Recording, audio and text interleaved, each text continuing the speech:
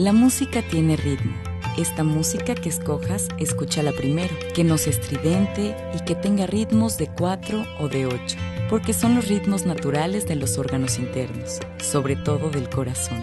Entonces, el movimiento de tus manos junto con la música va a crear un ritmo y este va a liberar energía en tu bebé.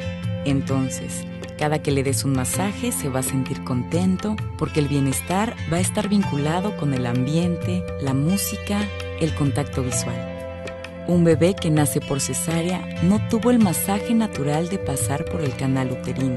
Entonces, lo que tu bebé necesita es sentirse abrazado, masajeado, mucho más que el bebé de parto natural, porque no tuvo esa conexión inmediata y requiere ese masaje.